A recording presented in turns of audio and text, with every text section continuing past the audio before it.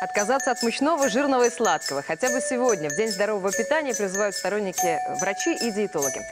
Вот так незаметно мы поглощаем слишком много легких углеводов. Они провоцируют усиленную выработку инсулина, который подает сигнал особым клеткам забирать из крови лишнюю глюкозу и перерабатывать ее в новую жировую ткань. Отсюда избыточный вес и